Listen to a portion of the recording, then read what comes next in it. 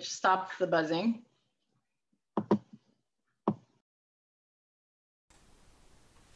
Okay.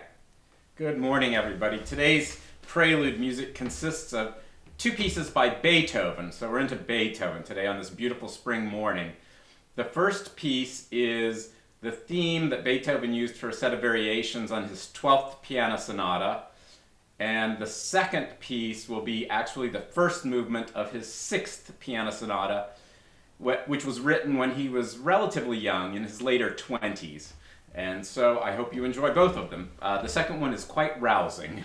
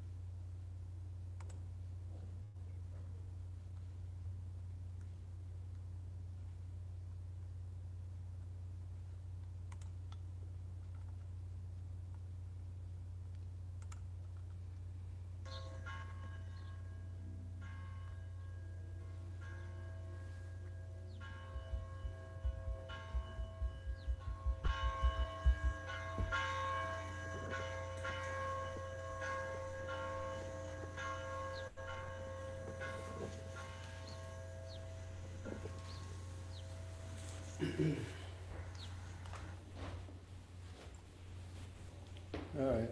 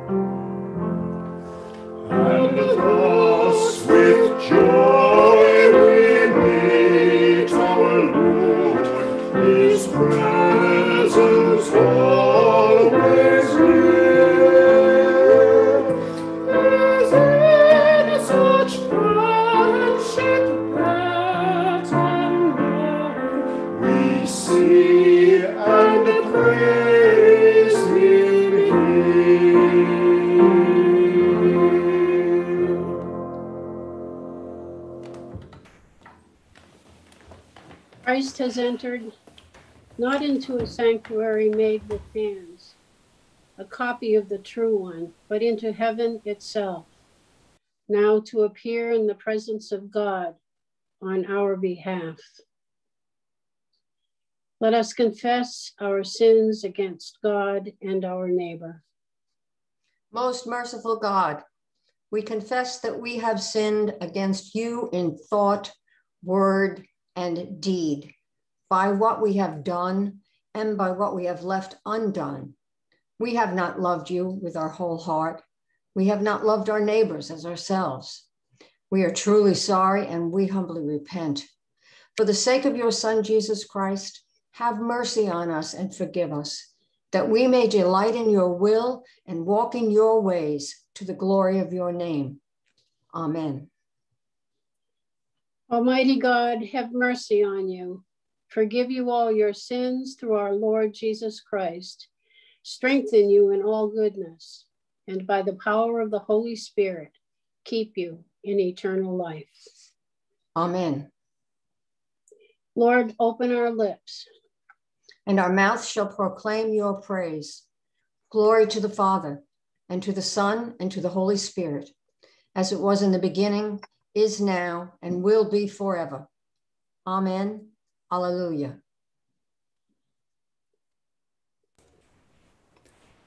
My praise is of him in the great assembly. I will perform my vows in the presence of those who worship him.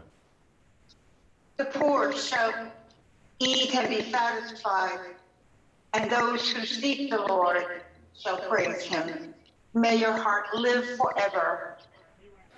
All the ends of the earth shall remember and turn to the Lord, and all the families of the nations shall bow down before him. For kingship belongs to the Lord. He rules over the nations. To him alone, all who sleep in the earth bow down in worship. All who go down to the dust fall before him. My soul shall live for him. My descendants shall serve him. They shall be known as the Lord's forever. They shall come and make known to a people yet unborn the saving deeds that he has done.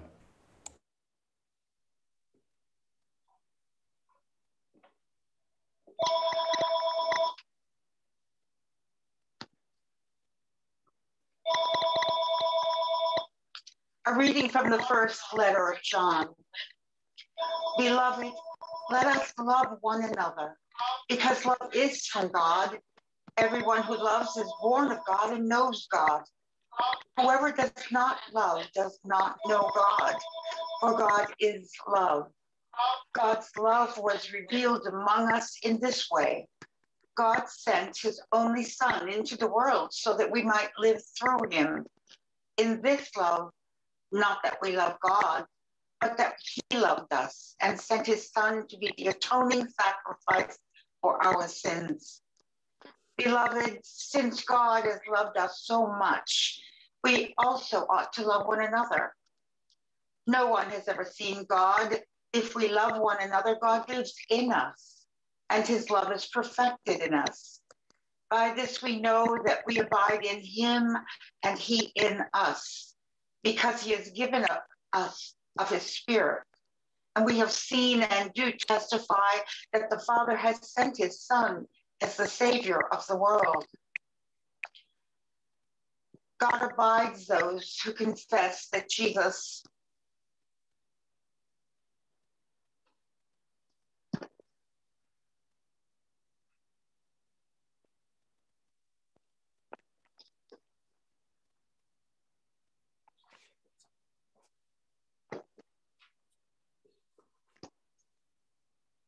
Can I finish the reading? Is that available, Amy?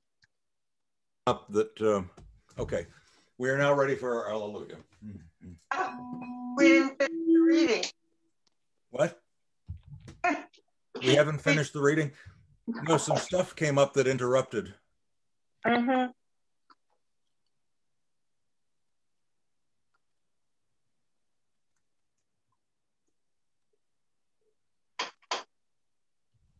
We, we lost the screen share.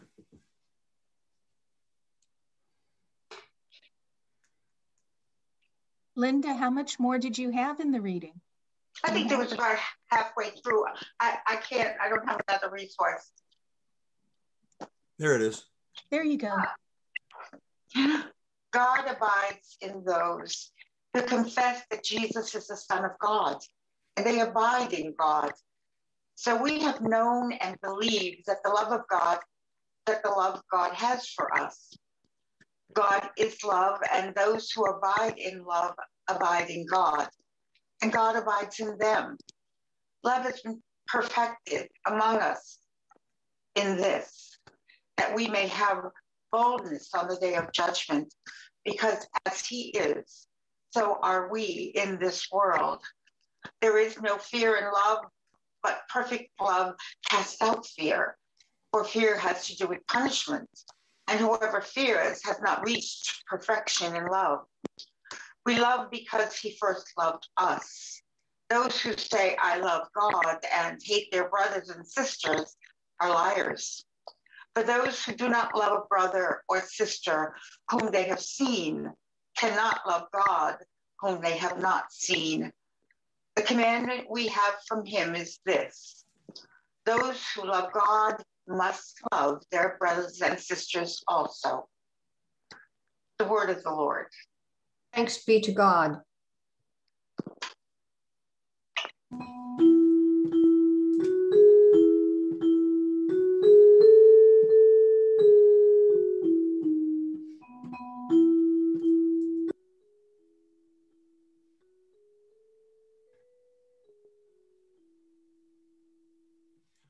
Hallelujah.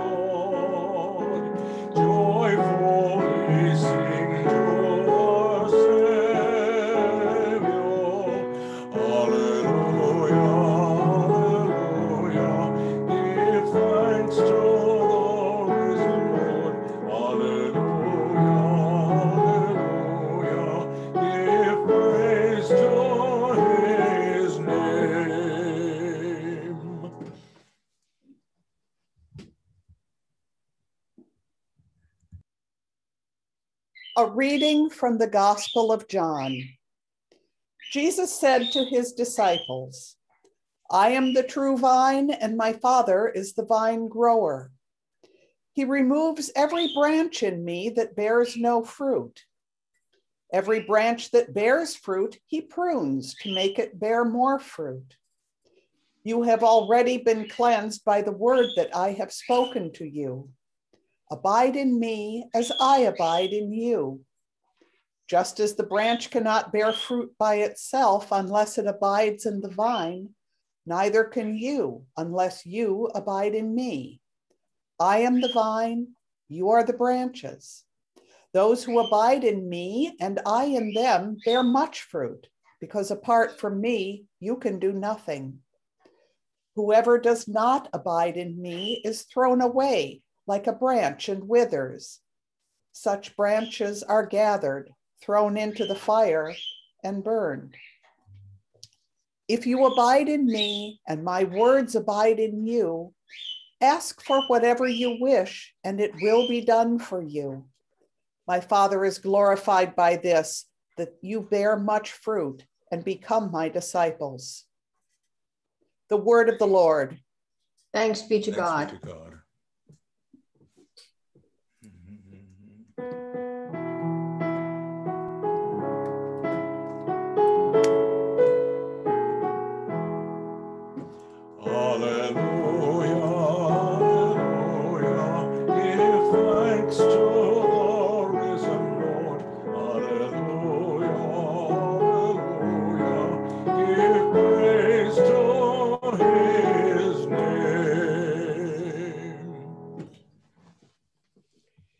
In the name of God, who creates us, redeems us, and gives us new life.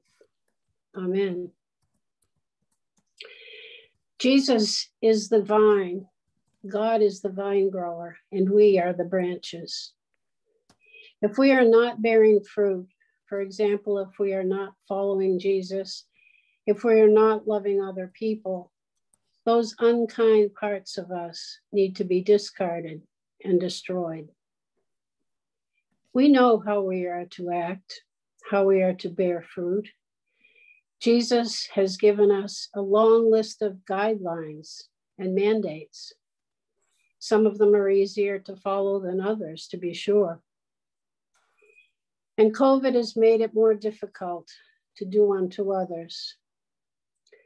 Laundry Love and New Horizons have missed our help and our fellowship.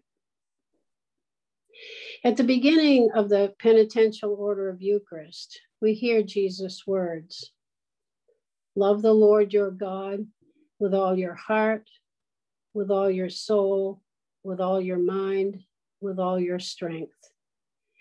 Loving God includes loving other people, even the seemingly unlovable. You may ask, how can I love a white supremacist? How can I love someone who is violent toward a person just because they perceive them as different? We are told, love your enemies and pray for those who persecute you. Is that even possible? Yet we know that some prisoners of war, as well as some of the early Christian martyrs, have done just that. In the present time, we may ask ourselves, who are my enemies? Love your neighbor. That should be easier. But sometimes we forget that all God's children are our neighbors. We are not asked to love just the people who agree with us. Treat others the way you want to be treated. That requires us to stop and think before we speak or act.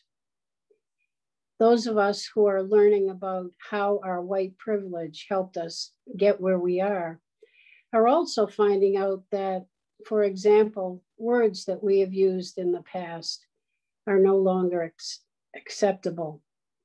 They never were appropriate. Now we try to be sensitive about anything that might offend another person. I know people who mock the term politically correct, not realizing that that way of thinking came about to help us be more sensitive. It's a good thing. We are asked not to judge other people, lest we be judged. That's where our prejudices come into play, when we judge a person without knowing them. Putting a human face on the thing that we fear or don't understand can change us. A conversation with an open mind with someone on the other side can make all the difference. More often than not, we discover that there is common ground after all. Jesus showed us by his example to pay attention to the spirit of the law, but don't let the letter of the law stand in the way of helping those who need us. He healed on the Sabbath. Was that wrong? And yet he was faulted for doing just that. It helps to be flexible in our thinking and to realize that we humans are fallible. I remember the Peter, Paul, and Mary folk song, Have You Been to Jail for Justice? Part of it says, You law abiding citizens, come listen to this song. Laws were made by people, and people can be wrong. The more you study history, the less you can deny it. A rotten law stays on the books, till folks like us defy it. The law is supposed to serve us, and so are the police. And when the system fails, it's up to us to speak our piece. Starting back in the early 60s, I discovered that Peter, Paul, and Mary were preaching the teachings of Jesus, disguised somewhat in folk songs. If we are passive, change will not happen. Some years ago, at our National Church's General Convention, many of us were wearing a button that said, lead, follow, or get out of the way. It was a not so subtle way of telling us to walk the walk, not just talk the talk. And yet at the same time, we are asked to be humble and simple like a child. Children aren't encumbered with the kind of know it all thinking that makes us adults think we're superior. We think we have all the answers. We don't. Jesus cautions us to be prepared. We recall the bridesmaids who didn't think ahead to have enough oil for their lamps. Consequently, they missed the party. I've never felt sorry for them. They had plenty of time to get ready. The other bridesmaids figured it out. Those of us who are older understand the need to think ahead, to get our lives in order. We know that we can't do it all, either individually or as a group. Feed the hungry and give water to the thirsty. Clothe the naked, the homeless. Welcome the stranger. Visit those in prison. But Grace Church folks have been offered an opportunity to provide some dinners for a young man from the Republic of Congo and make him feel welcome here. He is not in sanctuary, but he is living at the UU Church in Manchester. It's, at some point, he'll be able to find a job and then an apartment. His name is Chrisma. He's 28 years old and he is on the path to citizenship. More details about him and how you can help are in the May newsletter. When Jesus warns us to be aware of false prophets, I think of what WBZ radio says before each newscast. Today, more than ever, it matters where you get your news. How true that is. When Jesus commissioned his 12 disciples, they too were given instructions about their behavior and their demeanor. Heal the sick, raise the dead, cleanse lepers, cast out demons. He told them, You don't need money or extra clothes or anything else that will weigh you down. Just do what I've taught you to do. God will take care of the rest. Earlier, we touched on the subject of love, but our reading from the first letter of John gives us more of a focus. Last week's portion of this epistle called us to action in a very direct way. Let us love, not in word or speech, but in truth and action. This week, John ties it all together. God loved us so much that he sent his only son into the world. Because of that love and that sacrifice, we ought to love one another. The message is clear. We will seek and serve Christ in all persons and strive for justice and peace among all people, respecting the dignity of every human being. And we will cherish the wondrous works of God by protecting the beauty and integrity of all creation. The hope is that the way of love will become a way of life. Going back to our earlier metaphor of the vineyard, Jesus speaks of himself as the true vine.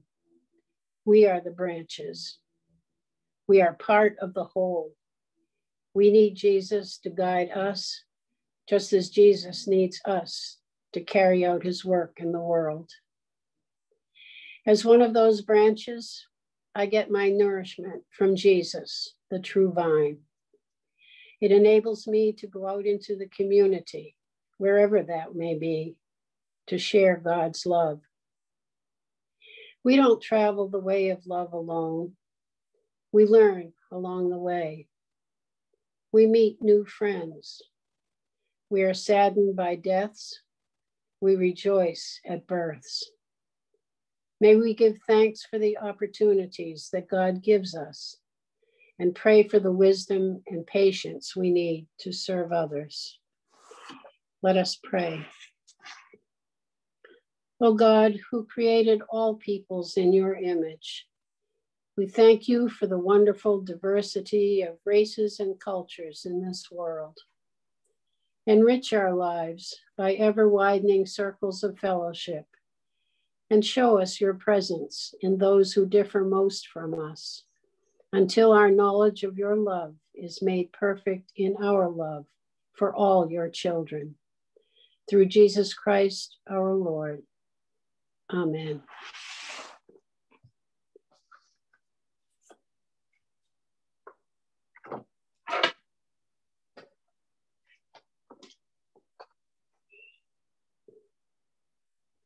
Let us join together in the words of the Apostles' Creed. I believe in God, the Father Almighty, creator of heaven and earth. I believe in Jesus Christ, his only Son, our Lord. He was conceived by the power of the Holy Spirit and born of the Virgin Mary. He suffered under Pontius Pilate, was crucified, died, and was buried. He descended to the dead. On the third day, he rose again. He ascended into heaven and is seated at the right hand of the Father. He will come again to judge the living and the dead. I believe in the Holy Spirit, the Holy Catholic Church, the communion of saints, the forgiveness of sins, the resurrection of the body, and the life everlasting. Amen. The Lord be with you. And also with you. Let us pray.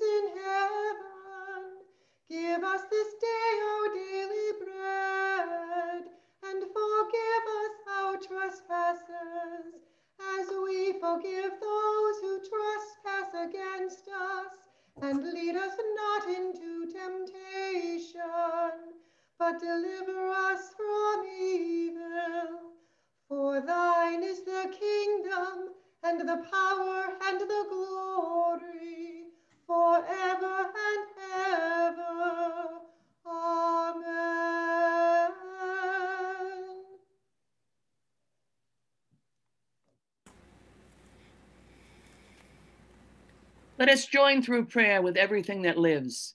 Let us acknowledge to God the one life we share, saying, O God who makes us one, hear our prayer. O God, your Holy Spirit is alive in all the earth. Your Spirit that moved and shaped land and sea, trees and beasts, still moves and shapes us into creation. Through Christ, we know your one Holy Spirit, for you are God of all. That all the world may know your Spirit, we pray, O God who makes us one. Hear our prayer. Open your world before our eyes so that we see far and near. Show us newly what lives around us, over and behind and within. Give us the mind of Christ, O God who makes us one. Hear our prayer. Bring us to one another that we may hear and understand each other. Bring trust and sympathy between the peoples of the world. Make all nations one household with many rooms. O God, who makes us one, Hear our prayer. Heal those who are sick. Cheer us who are guilty. Love us who are alone. Join us who are distant. Call all the world to yourself, O God, who makes us one. Hear our prayer. Enliven the church with the Spirit of Christ. Through us, give your loving Spirit to a world in need of comfort. Make our many gifts one offering for the world. O God, who makes us one, Hear our prayer. O God, keep our minds inside your love, for we are many parts and need to be one.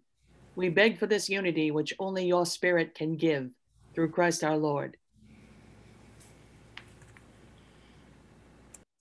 And now we pray for those who are close to our hearts. Prayers for healing for Nancy, Steve, Paul, Patty, Mateo, Teddy, Clark, Jeff, and John.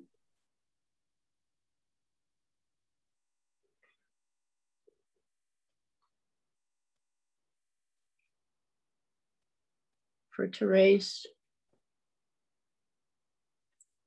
for Haley, for Joe, for Josie.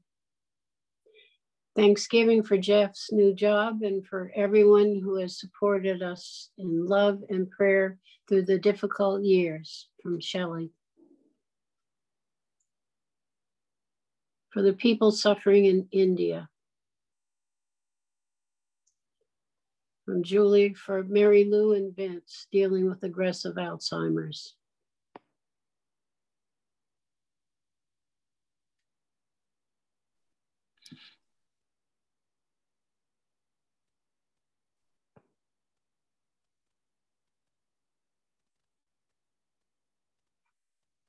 for Linda, who is facing illness from breast cancer.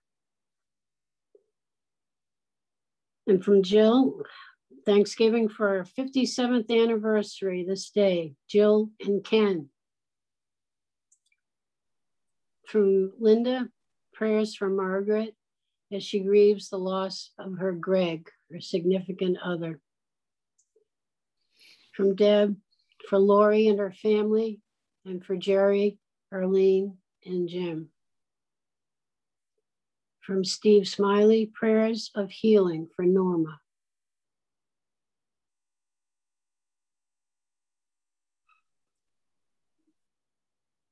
From James and Barbara, for Gail, Bindley, Taylor, that she may come through this difficult period strengthened in her faith.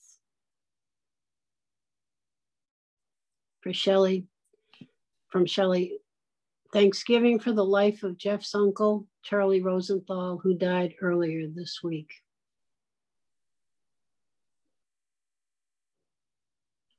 Steve, Steve Smiley, prayers of healing for Norma. Deb, prayers of continued healing for Craig, Linda, prayers for those alone and lonely, that they may be comforted by our love and our outreach to them.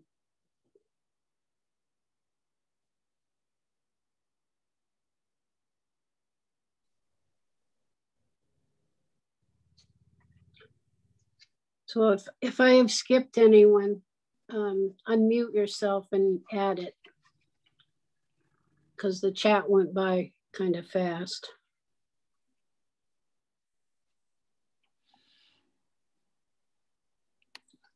Almighty God, whom truly to know is everlasting life, grant us so perfectly to know your Son, Jesus Christ, to be the way, the truth, and the life, that we may steadfastly follow his steps in the way that leads to eternal life through Jesus Christ, your Son, our Lord, who lives and reigns with you in the unity of the Holy Spirit, one God, forever and ever.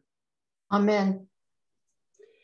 In the grace of our Lord Jesus Christ and the love of God and the fellowship of the Holy Spirit be with us all evermore. Amen.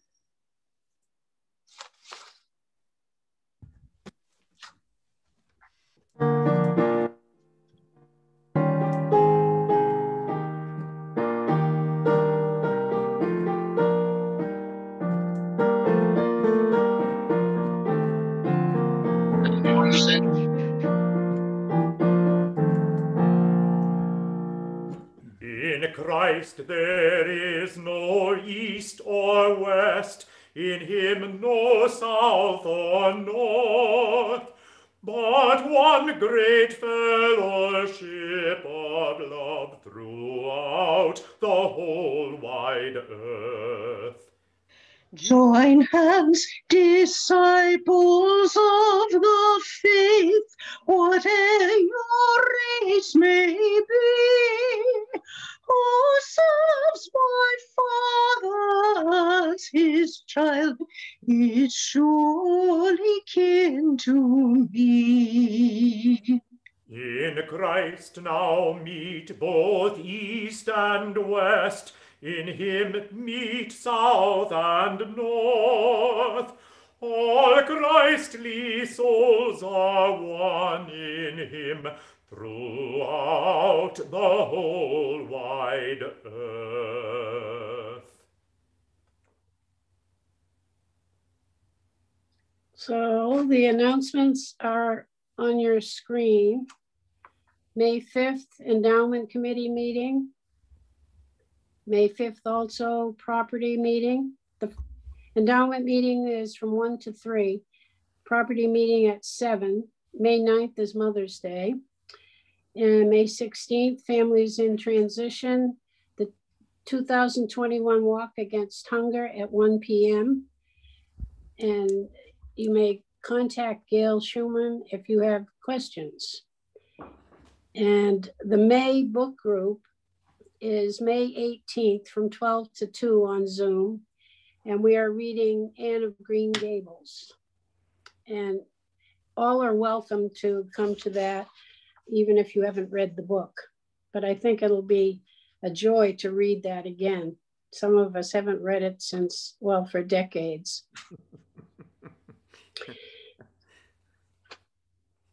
Let us bless the Lord. Alleluia, alleluia.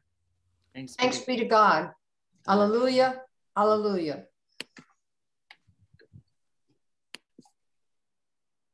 For our postlude this morning, surprise, surprise, another English voluntary beginning on the harmonium and continuing on the electric organ stop here. Uh, this voluntary is in D and it is by William Croft. William Croft went from the 16th to the 1700s, and uh, to him is attributed the tune for the hymn, O God, Our Help in Ages Past, just for a little bit of spring trivia so that you can amaze your friends at parties.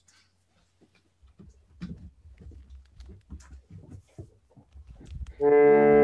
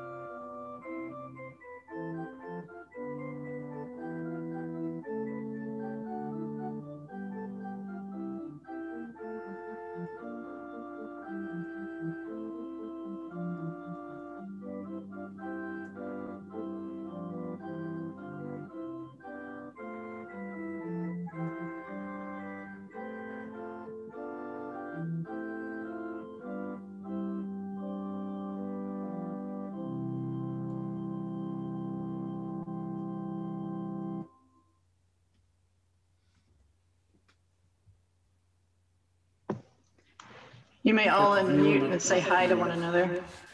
Hi there. Thanks, Amy. for all Hi, you Emily. do. Hi, Kathleen. Hi. Hi. Good morning. Hi, everybody. everybody. Hi, Christopher. Hi, Linda. Hi, Linda. Hi, Kathleen. Hi, Bonnie. Buddy. Hi. Have a good week, everyone. Hi. Yes. Hello. Have a good one. Glad to hear about Jeff. Hi, David McCann, where's your mother? She's She's sitting off to the side. she's she's sitting on the side. I want to see her. No. Love you guys. Love you guys. Hope you have a great day. Love the dog. Thank you. Thank you, Christopher, for the card. We loved it. Happy anniversary to you both. Thank Yes. you. Thank you. Hi, Ken. Hi, David. Happy anniversary, Jill. Thank you, Jill. Thank you. Yes, Jill, yeah. happy anniversary. Yes, 57. Jill. Wow. Happy 57. Thank you. Wow. Yeah, wow. Thank you, Carter and Ken, for your music. Yes. You are most welcome. You've been practicing. Jane, excellent sermon today. Thank you. Yes, Yeah. thank you for the sermon. Look forward to the day when we can play together again. You will actually hear a recording of that on Pentecost. But uh, someday soon, there's hope we will be able to do it live.